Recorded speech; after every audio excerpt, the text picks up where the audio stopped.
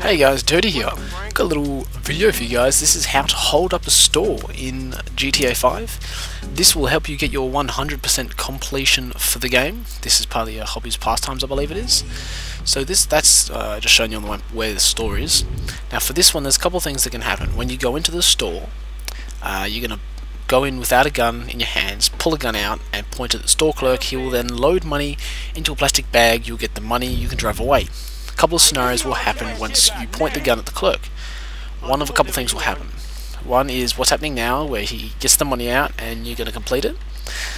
Second one is he will pull out, I believe it's a shotgun at you and fire, in which case you kill him and find another store.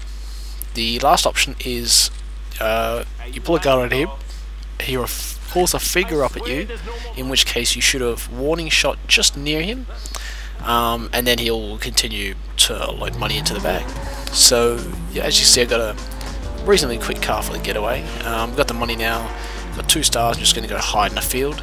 Um, it's a pretty easy one to get your completion, but uh, robbing stores which um, isn't like a convenience store like the 24/7 kind of ones, uh, it's not going to work. Sorry, like your 7-Elevens.